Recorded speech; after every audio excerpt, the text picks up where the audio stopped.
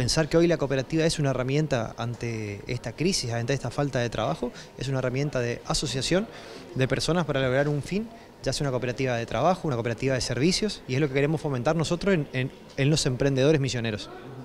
puntualmente son o está destinado a los jóvenes este, este tipo de actividades, ¿no? Sí, sí, está destinado a jóvenes emprendedores, jóvenes estudiantes, este, de la verdad que cualquier carrera, este, está organizado en tres eventos, uno por semana, de manera de resaltar el valor de las cooperativas, demostrar cuáles son los beneficios y finalmente terminar en un encuentro, en un paso a paso de cómo constituirla.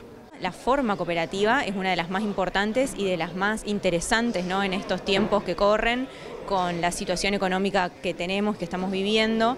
La economía solidaria y la forma asociativa es una de las más buenas ¿no? para intentar en estos momentos. Hace poquito estuvimos presentando el registro eh, de cooperativas ¿no? y también todo el sistema de gestión cooperativa para informatizar todos estos registros y los procedimientos.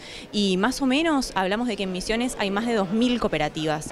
600 o más hay en la ciudad de Posadas y el resto están en, el interior de la provincia. Pero sí, acá hay muchísimas, sobre todo las que tienen que ver con las cooperativas de trabajo, ¿no?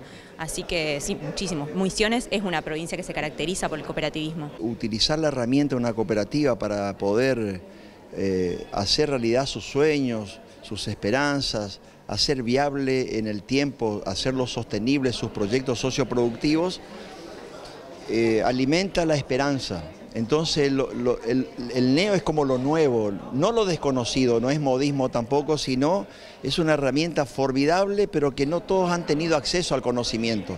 Y a veces por no saber o conocer cómo se utiliza este tipo de herramientas, experiencias, ideas muy lindas, no prosperan porque chocan con la realidad del, desconocimiento en el tema. No hay mala voluntad, a lo mejor son excelentes en diversas áreas del conocimiento, han desarrollado sus cualidades y sus capacidades intelectuales, son buena gente, pero por ahí no se entiende lo que significa formar parte de un trabajo asociado gestionado a través de una cooperativa.